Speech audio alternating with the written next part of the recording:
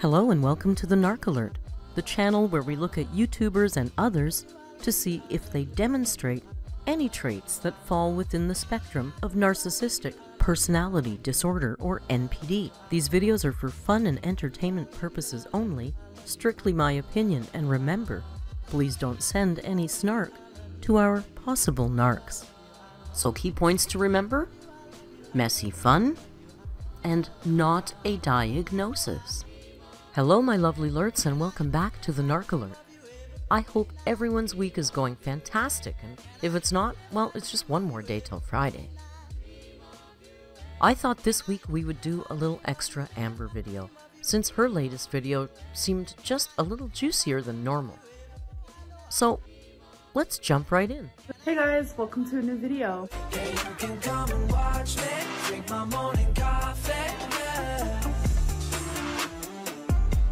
You make me kinda nervous. You do that on purpose, yeah. So we are on Let's Talk number 10. We have made it into double digits. That's pretty freaking amazing if you ask me. She never misses an opportunity to shout herself out. Amber is proud of doing her job, which consists of talking about herself for 10 days. So I know you guys can see my door. I have cats, so they decided to, you know, have fun with the, uh, the blinds, if you will.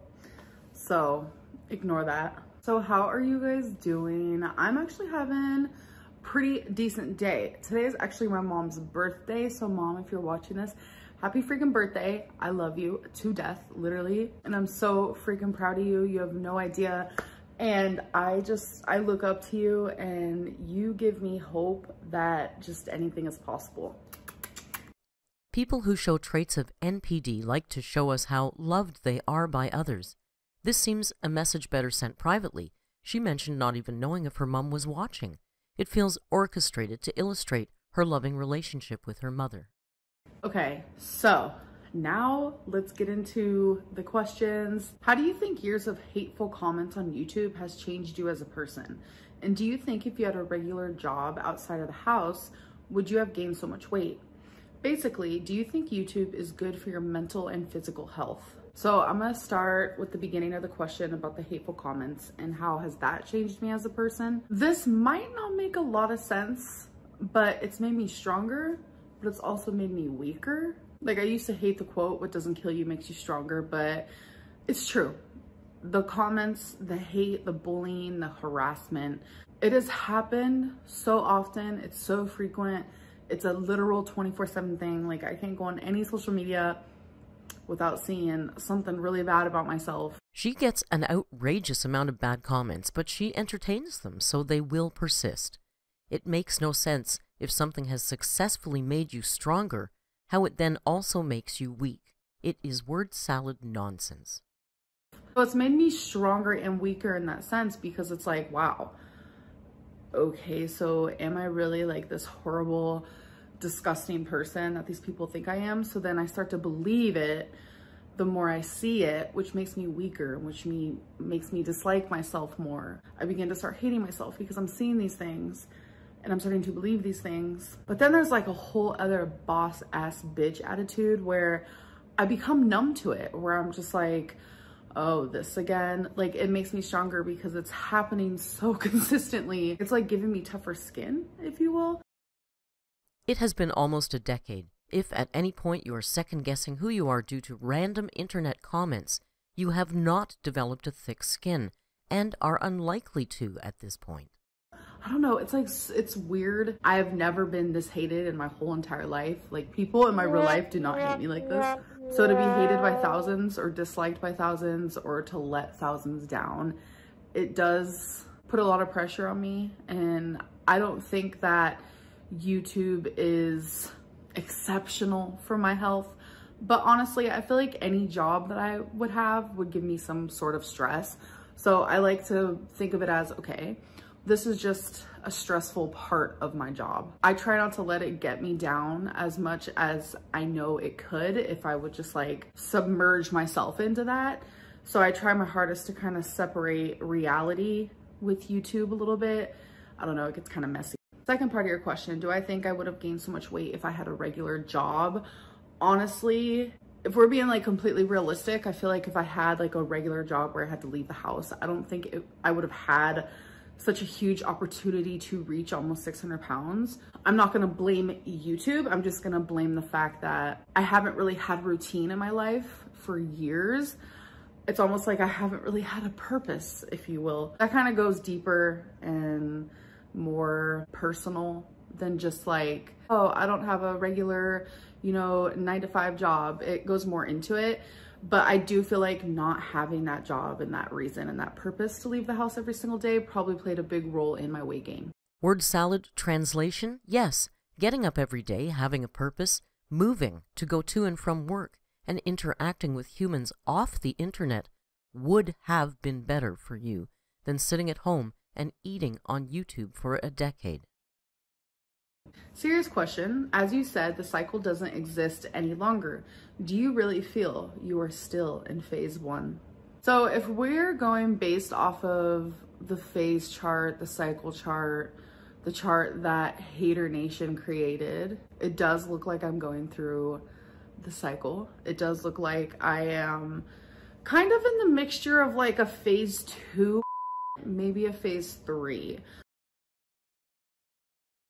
So I wouldn't say that I'm in phase one. Jokes aside though, I hate this whole cycle phase situation because you guys, it almost is like I'm being mocked for my mental illness, which is frustrating because it's also like, wow, I'm also being mocked because of my eating disorder, which has been happening a lot lately. And it's so weird that like when you come to my channel, it's totally fine. It's like a place for people to bash me, bash mental illnesses, bash eating disorders. This is a false narrative she's creating to evoke pity. She does get horrible comments, but people are not en masse bashing mental health disorders. Fat shame, like it's become accepted in my comment section, but if it was to happen anywhere else on YouTube, it wouldn't be okay. Like a shorter skirt like in the front. And then the back of it is just kind of like super long and I don't know, it's really cool. It's just like yeah, they just kind of like flare out. Um, also, this skirt is like very, very glittery, guys. So I don't know if you guys can. So every time people talk about this whole cycle and face thing, I, I truly feel like I'm being slapped in the face and like I'm being mocked. Next question, have you considered going to rehab center for eating disorders to help with the weight loss? Tammy from A Thousand Pound Sisters has lost a lot of weight from going to rehab. First of all, I want to say congratulations to Tammy because she did lose 100 pounds in 30 days. That's amazing. She did that while being at a rehab facility. A lot of people have been comparing us saying, you know, if Tammy could do it, you could do it. And I'm just like, I'm not in a rehab center, so there's a big difference. And this is like no Tino shade, but she is a little bit bigger than me. The more bigger you are, the faster you can lose weight. Tammy Slaton is a few pounds heavier but I suspect once you are in the class 3 obesity range, a few pounds is negligible. Of course, people with NPD must remind you that they are special and different. She is above Tammy. Could I lose 100 pounds in 30 days? Probably if I starve myself. Like, yeah. But I hate when people like sit there, they get so mad at me for comparing myself to other YouTubers, but like y'all compare me to other fat people like all the time. Not every single fat person is created the same. We are all completely different people. But I will say that watching A Thousand Pound Sisters, Tammy's story really truly hits me in the feels. I cried the episode where she got put into a coma. Like I literally cried. The only time Amber cries is for herself. She's touched by Tammy's story because she relates to it. She cries not for Tammy, but for fear it could be her one day, I suspect. I was feeling so emotional and I want nothing but the best for Tammy and by the looks of it, rehab is working very well for her. But using Tammy as an example from what I've seen through the episodes, once she left rehab, you know, she gained all the weight back. Rehabs do not always work the first time. Tammy did gain back after her first visit. She wasn't ready to be there and she left early. In her second attempt, She's been highly successful. It works if you do the she work. She wasn't under the supervision of professionals. She wasn't restricted, if you will. Like being in rehab, like you're kind of restricted into your own. Like you don't have the freedom like it is like when you're at home, obviously. So it's like all the hard work that she went through the first time she went to rehab kind of just like went away. And using that example, that's very much exactly what would happen. So Amber, who hates being compared to others with weight issues, assumes every person's rehab experience is the same.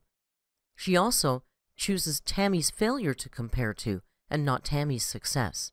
Amber speaks as if rehab is done to you, not to help you and give you tools. So I'm going to explain my thought process on this. I've actually thought about this before long and hard. I was like, is rehab right for me? I'm sure I'll do great while in rehab. I'm sure I'll lose tons of weight and I'll be following plans, going to the meetings, doing everything that they want me to do. People with traits of NPD always assume they will do great at things that they have never attempted. But none of that matters unless I do it all outside of rehab. And I know myself literally being restricted like that inside of a rehab, the minute, the minute I come back home, binge city is about to happen. She has already decided to fail. She speaks of rehab as if she is chained to a table to starve. It teaches you tools to cope with being outside of rehab. It's what they do. So no, rehab's it's not going to help me. What does support mean to you when you talk about your girlfriend? Without actually demanding me, because she doesn't demand me. She urges me more than literally anybody I've ever had in my whole entire life. She wants me to find a plan and just stick to it. The same person said, I'm going through weight loss myself and my partner would never, never let me have takeout on consecutive days. See, this is where people are confused. Ah, the classics. If you're criticizing her, it is because you are wrong, you just don't understand. She urges me not to do those things, but just because she is supporting me in the process of my weight loss journey and obviously she doesn't want me to binge, she also doesn't have handcuffs to like handcuff me to the couch so I won't put food in my mouth. She's not tying me up to chairs so I don't open the Uber app. Like she can't stop me from doing something that I want to do or that I have the urge to do. She congratulates me when I lose weight. So did Becky. Even when it was clear that Amber had lost little to no weight, it's normal, not special. Clearly the honeymoon is over and the life-altering support and happiness is gone. Like she actually is thrilled for me when I'm like, okay, I want to walk to the mailbox six times. And I remember this distinctively, like I stopped at the fifth one and she looked at me and said, babe, I know you can do it. Let's do this. She grabbed my hand and she went with me and I did it. You know, if it wasn't for her doing that, I wouldn't have done it. I wouldn't have reached my goal of doing six. And that is the heart of Amber's entire issue. She wants everyone else to do the hard work for her so she can enjoy her life. You have to do this alone and for yourself. Anyone else would have just been like, oh, I totally get it. Like, you're totally tired. Let's go back inside. And then when I fail, she does the tough love thing sometimes. And sometimes I have to tell her I can't do tough love. But like when I gain weight or I say I'm gonna exercise and I don't do it, she's very patient with me. She's understanding in my struggles. I'm, she's never been with someone my size. She's never been with someone with, that has issues with food like I do. This sounds like bad foreshadowing to me. Most people only have so much patience, and the girlfriend is already trying a tough love approach and getting pushback. Add in the fact that this is a new experience for her to be with a housebound 500 pound person. This cannot be sustainable. So I know it's a little new for her, but she motivates me to keep going. In the way that she is, the way that she voices her congratulations and her just being proud of me, but then she voices her concerns. It's hard to explain. Like, she's super level headed in this way, which I feel like I'm not. So I don't know, it kind of helps with the dynamic. But y'all, you can't sit here and say that me binging or me ordering takeout or me having McDonald's is her fault because it's no one's fault but my own. You gave her 100% of the credit for doing well. It is only natural that she would now be held responsible for your failures. Like, there have been several times where I was about to eat something that would either put me into me going way over my calories or that was going to trigger me to binge or anything like that. And she has stopped me. Like, I'm not used to having someone there who makes me second guess like should i be ordering this? I've just always been surrounded with people who are like oh okay also um when you order your 20 piece nugget can you also get me some too? People with NPD always think that their lives and struggles are first and foremost in everyone's minds. It is not anyone's responsibility to watch what you eat except yourself. like that's not how it is. Like she's very like are you freaking sure? Like and then she'll like weigh out the pros and cons. Like i don't know it's hard to explain i think that you guys would just have to like simply see the dynamic because me explaining it like i feel like i'm being very lousy at that right now The love bombing has worked, and Amber is slotting in the new partner right into the caretaking role that Becky left. If a loved one had a severe drug addiction and you watch them try and fail for years to overcome it, would you encourage them to seek treatment in a rehab facility or would you think they could figure it out on their own?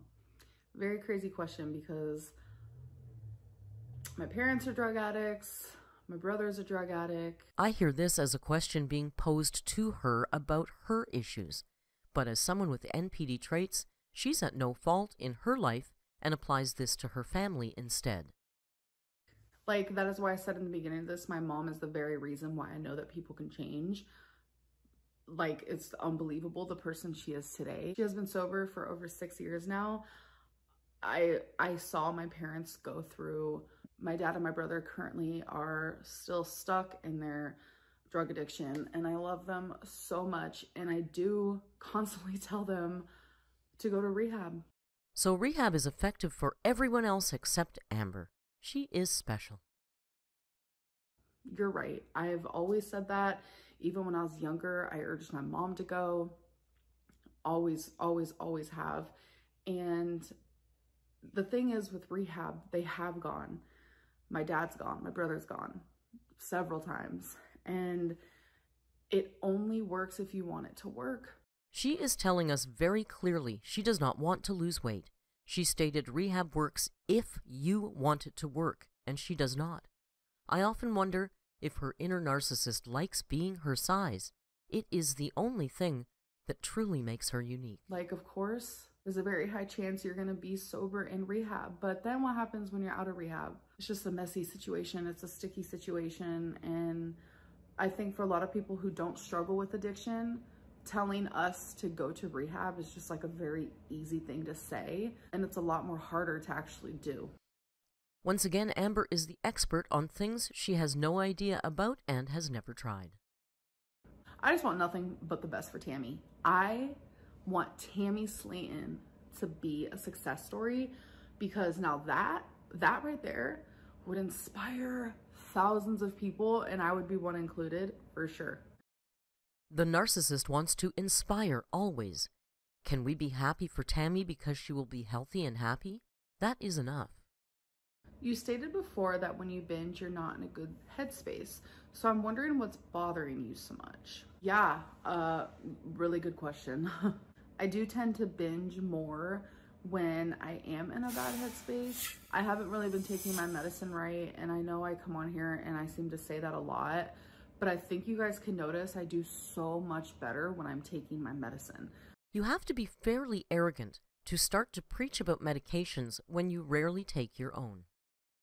I take medicine for anxiety, obviously my estrogen pill I have to take, and the main thing I feel like that's really messing with me is my mood stabilizer because I am bipolar. So when I'm not taking those three things and I'm not taking them right, y'all, like I've gone a week without taking a single one. Like, do not look at me as a role model. Like, please.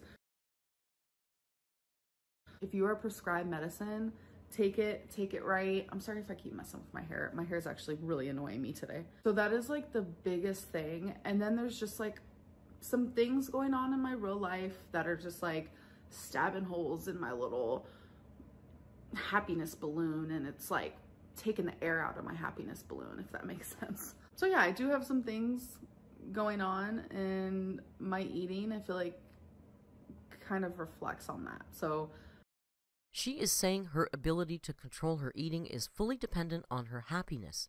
She will never take responsibility. No one is always happy. Therefore, she always has a reason to fail. Amberlynn, if you have narcissistic tendencies, then you are in fact a narcissist. No, that's that's literally not how it works. so now that you have lost some weight and you talk a lot about 2019 being the hardest year, can you tell us some things that you haven't told us before about being at your heaviest weight? Oh boy. Um there's quite a few things that I could tell you guys. There's one thing that to me, okay, no, there's two things. There's two things I'm gonna tell you. Um, that to me, like, should have been a wake up call besides me getting diagnosed with cancer. It is amazing to hear someone gloss over a cancer diagnosis, especially given she has never had the required test to clear her. But to Amber, jumping on the bed is a wake up call because in bed now, like I'm rolling around, I'm plopping, jumping. Like I'm just like, I feel like a completely different person. It is so weird. And I know I'm down only like 80 plus pounds, but it feels like I'm down a couple hundred. And I know a lot of people are like, how come you act like you've lost so much weight when you haven't? Anyone who criticizes her gets personified by the same childish mocking tone once again ensuring we know how superior she is to us. It's just how it feels.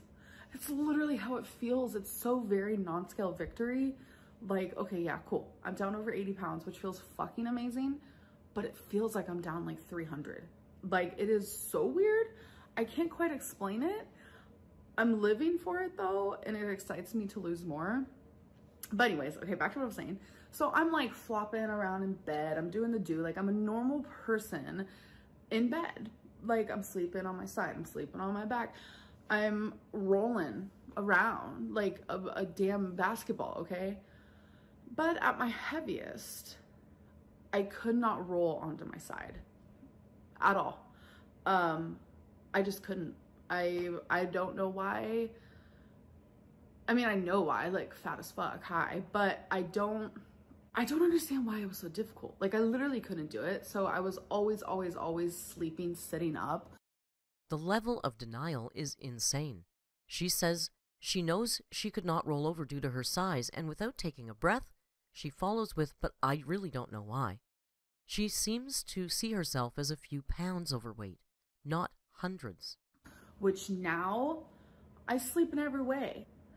I'm sharing this because not only am I proud of how far I've come in the middle of all my trolling. Okay, yes, I troll. Whatever. Trolling has entered the chat. Trolling is fucking fun, okay? Like, I am obsessed with being the troll queen. Like, literal trolling entered the chat. If by trolling she's referring to her recent videos that show her overeating garbage on a daily basis and destroying her life and body for clicks, then yes, she is the queen. Um, so now that we're here, I shower every single day. I honestly love showering. I love feeling the water just run down over me. I love singing in the shower, singing in the shower. And the fact that I can sing in the shower, let alone sing Skyscraper by Demi Lovato and like not be out of breath while hitting those high ass notes just goes to show, like, wow, okay. She really is her own biggest fan. Not only can she now shower on the reg, she sings like Demi Lovato. You're doing your thing, Amberlynn. So being able to do that with literally no issue. Like I'm able to clean my body with no issue. I'm able to stand with no issue. Like I'm just like a normal person in the shower besides like I'm fat and all. And the reason why I'm mentioning mentioning this is because in 2019, I couldn't shower at all. There was a large portion of 2019, if not the whole 2019, where I literally couldn't shower. Um, I bathed in bed. I bathed in bed. Um,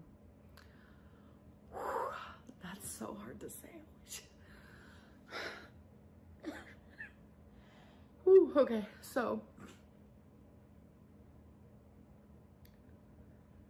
I'm sharing this because I'm proud of how far I've come. Although the details are new, this is a non confession. Everyone was well aware she was bedbound in 2019. There's no reason for her to share this humiliation besides clicks and views. Becky and I promised not to talk about each other, but like she was there for me through it all. And it's like so grateful that she loved me unconditionally like that because you guys, I hated myself so much. But yeah, I would bathe in bed and it wouldn't even be frequently. Um,